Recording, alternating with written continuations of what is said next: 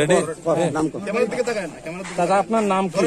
মোহাম্মদ ফজলুল হক তো আপনি আজ কাকে নিতে এখানটায় এসছেন? আমার বোনকে নিতে কতদিন আগে বোন হারিয়েছিল?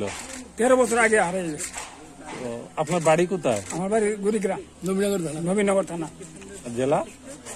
জেলা ব্রাহ্মণবাড়ি ব্রাহ্মণবাড়ি কতদিন পর আপনি বোনকে ফিরে পেলেন এবং পেয়ে কীরকম লাগছে আজ এবং কোথায় থেকে কীভাবে খোঁজ পেলেন যদি একটু বলেন আনুমানিক যে কত দেখছেন না, আজকা তেরো বছর ধরে আমি বুঝছিলাম আজকা আয়া ত্রিপুরা রাজ্যে সংগঠনের মাধ্যমে খুঁজে পাইয়া আমি আজকে আইলাম, আয়া এই সংগঠনের মাধ্যমে আয়া আনন্দিত হইলাম।